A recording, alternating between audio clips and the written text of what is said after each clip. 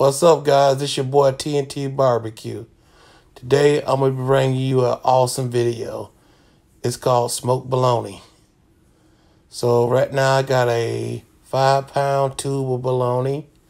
I'm going to cut the ends off with a sharp knife.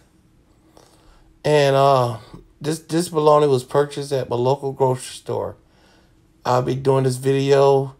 Be prepared for my following uh, vending event and I'm doing the smoked bologna so I can know how it really tastes. So right now I'm taking my knife and I'm scoring the bologna uh, and I'm twisting it while I'm got the knife scoring the bologna. Now, I did go a little too deep, but it's okay. It turned out amazing, as you will see. So after scoring the bologna and you're turning while you let your knife does the, do the work, it creates a nice pattern um, for the rub and different textures to have with the bologna. Um, this was a great idea. I learned from a guy, Mike, over at the Weekend Warrior Barbecue. So after doing this, uh, we're going right into seasoning the bologna. So uh, as you can see, I got yellow mustard as a binder. And I'm going down with the yellow mustard and I'm just rubbing it in. Um, yep, get it all rubbed in with the yellow mustard. And this doesn't add any flavor. This is just a binder for the rub. And the rub I'm using today is John Henry pecan rub. Sweet, kind of spicy, but it's so delicious. And the color it gives this bologna is amazing. So you want to go pretty liberal. Uh, make sure you just cover every part of the bologna with this delicious rub. It's not too salty. It's not too sweet. It's a well balanced rub. And uh, yeah, so I really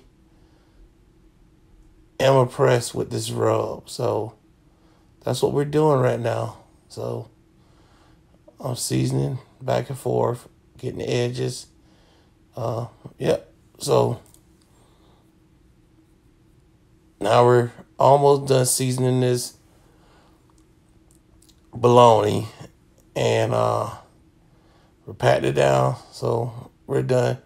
Now we'll be heading out to the um, smoker. We'll be set to smoke at 250 degrees. And the smoker I'm using is the Pit Boss 7 Series with hickory pellets, 250 degrees. Guys, I'm telling you what, don't slip on the pellets. Uh, use hickory because I want to make sure I bring um, some smoke flavor to this pellets. So now it's going on an hour and a half. So what I like to do is to help with the bark setting, I get a Pam cooking spray or any kind of butter cooking spray. And I just spray the bologna down and that helps out with the color and also helps with the bark, okay?